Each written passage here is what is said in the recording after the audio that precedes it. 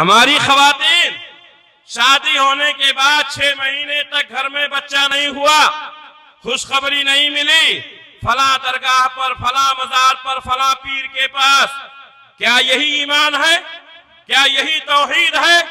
वो अल्लाह जो सबको रोजी देने वाला है, औलाद देने वाला है, इज़्ज़त देने वाला है, बीमारियों से शिफा देने वाला है, अपने आप को मुसलमान कहने वाला, अपने आप को मुसलमान कहने वाली खातून। अगर अल्लाह तबारक ताला ने औलाद देने में जरा देर कर दी तो दरगाहों का मसारों का चक्कर काटना शुरू कर दिया।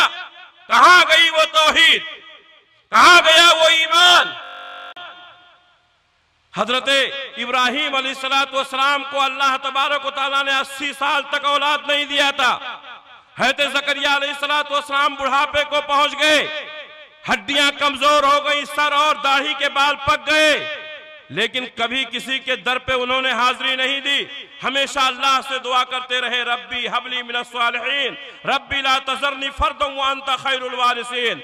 किताब सुन्नत का नाम लेने वालों, मेरे भाइयों, दोस्तों, माओ और बहनों, ज़ुबान से कह भी दिया, ला इलाह तो क्या हासिल? दिलो निगाह मुसलमान नहीं तो कुछ भी नहीं। ज़ुबान से कलमा पढ़ लेना, ला इल्लल्लाह पढ़ लेना।